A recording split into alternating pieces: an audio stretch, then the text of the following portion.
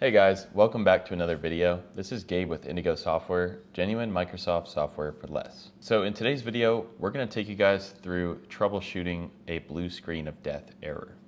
So this can be very frustrating and you might not know where it's coming from. And so hopefully in today's video, we can help you fix it and not have to deal with it anymore. But before we get started with that, if you're interested in genuine Microsoft software at a great price, check out Indigo Software. We'll have links in the description box below. So without further ado, let's get started.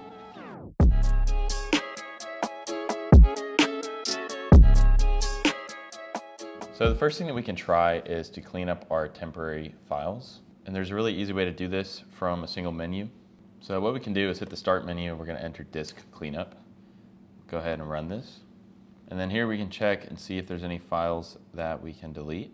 If you see anything in your recycle bin, you can, uh, you can go ahead and select that.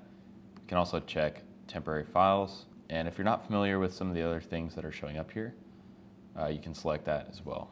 And then we can actually just go ahead and click on clean up system files and we're gonna let this load. And then again, we'll, uh, we'll select what we want to remove here. So temporary files, temporary internet files, and with that selected, we'll go ahead and press OK. We'll press delete files.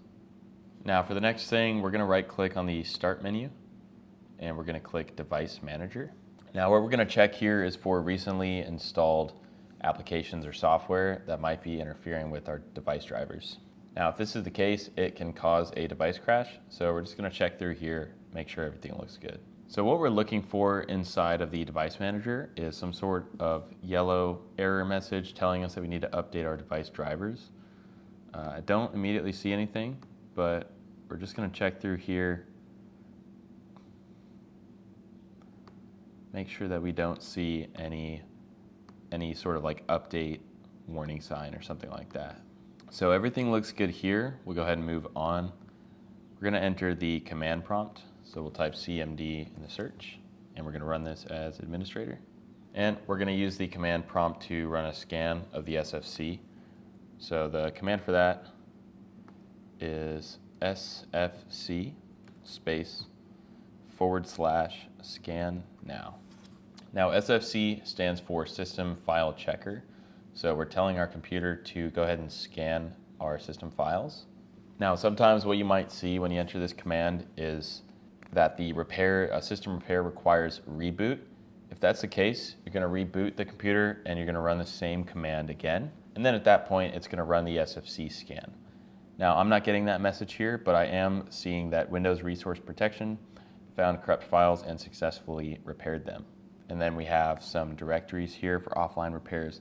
So we can actually see uh, what Windows found, what it repaired, but our SFC scan is complete and Windows is telling us that it repaired something. Now another command that we can run while we're here in the command prompt is DISM. Now this is another tool that we can use to help us find corrupt files.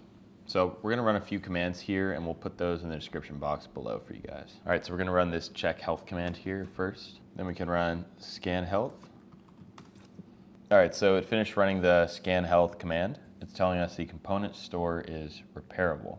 So now what I'd like to do is I'm gonna run the same command. This time we're gonna run restore health and press enter. So the scan was checking for corrupted files and then the restore health is going to remove those files if there are any. So this is a good place to check whether or not our system seems to be okay or to try to just resolve these issues from the command prompt. So what it's doing right now is it's trying to scan the system and restore any corrupted files that it might find. Now, once this is complete, it may or may not have done anything for you, but we still have a few other things that we can check as well. All right, so that has completed and it said uh, pretty much again, uh, the system has repaired files or something along that lines. So once we've run all those commands, we have another one we can run called check disk. Now this is CHK DSK. And then we'll do forward a space and then a forward slash R. And we'll press enter. Now you're typically going to see a message like this. The check disk cannot run because the volume is in use by another process. So it usually runs this when the system first boots up so that there's nothing else going on with the disk. So we'll type Y and then we'll press enter. And this volume will be checked the next time the system restarts. So you could go ahead and restart your computer now at this point. And then as your computer is booting up, you're gonna see a scan and fix progress bar at the bottom of the screen. So you guys can go ahead and run that, and then we'll see you when you're done with that. All right, so that's gonna do it for today's video. If you guys are experiencing a blue screen of death error, hopefully this video was able to help you fix that.